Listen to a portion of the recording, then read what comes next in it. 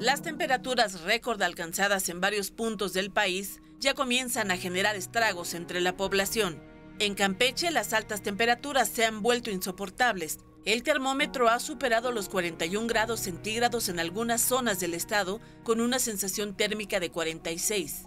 En Chiapas el termómetro va de 40 a 44 grados en las últimas horas. El municipio de Ostuacán registró 44 grados, lo que lo ubica como el más caluroso de la temporada. Es por ello que la Secretaría de Protección Civil inició un operativo de hidratación en municipios vulnerables por altas temperaturas.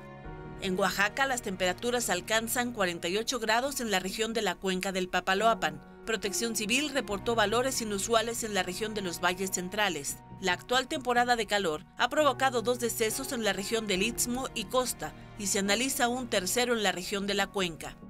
En Tabasco tampoco hay tregua, pues los termómetros han alcanzado hasta 42 grados y una sensación térmica de hasta 50 en varias zonas de la entidad.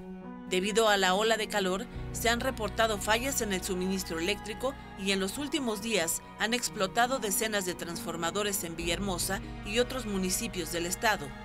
En Veracruz, este viernes, la carretera Minatitlán-Coatzacoalcos, en el tramo Las Matas, fue cerrada debido a un fuerte incendio de pastizal. La densa capa de humo causó que gran parte de Coatzacoalcos luciera con niebla debido a la alta concentración de monóxido de carbono.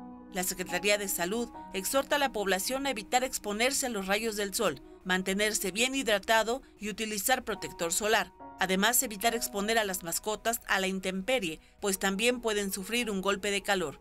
Con información de corresponsales, 1 TV.